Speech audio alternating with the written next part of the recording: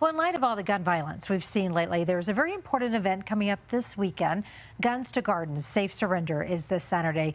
Very happy to have Rita Niblack from Most Precious Blood Catholic Church in Denver with us here where this event is going to be held this weekend. Rita, thank you so much for being with us today. Thank you for inviting me to come. Thank you so much. Yeah, we just are so excited about this.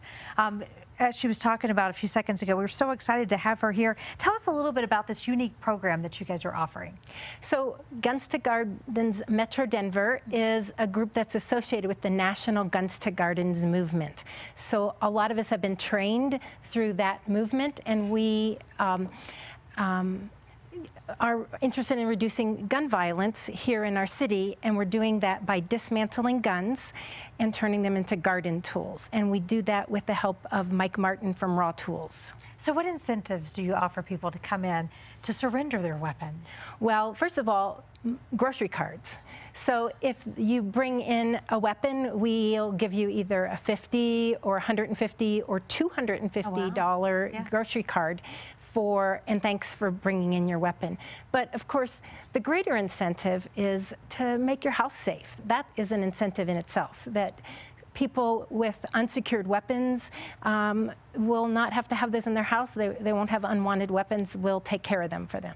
You were talking to a little bit, Rita, about the changes that happens when people and the way that they feel when they actually hand over their or they surrender their weapons. Talk a little bit about that.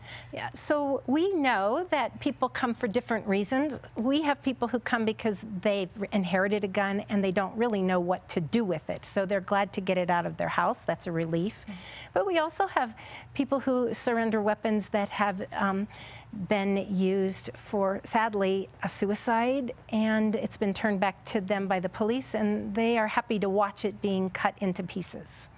And then tell us a little bit about the tools and how you're uh, you're taking something um, you know, like a weapon and turning it into something that gardens and reaps the soil. Tell us a little bit about that. And you have a couple of the tools I, right here. I do. So Mike Martin is a blacksmith, at, and and he takes these gun parts mm -hmm. and turns them into things that give life. So this little hatchet is made from a semi-automatic gun barrel. Mm. It's beautiful. Yeah. By the yeah. way, it's absolutely beautiful. Yeah, it's yeah, it, yeah, so so yeah. well tooled.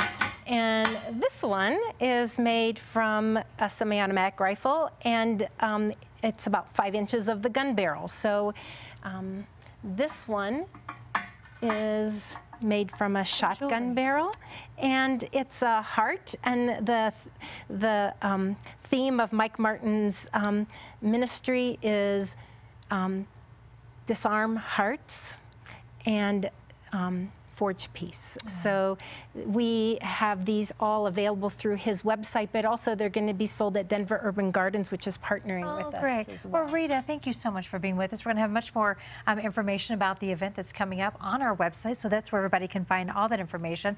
It's a Saturday from 10 in the morning until noon at the Most Precious Blood Catholic Church. That's Colorado Boulevard in Iliff. Michael?